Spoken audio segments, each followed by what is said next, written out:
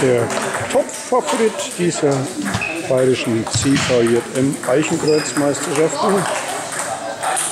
Ehemaliger bayerischer U18-Meister.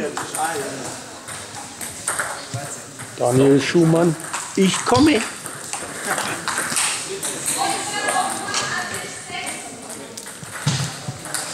laufe ich hier unter meinem Künstlernamen.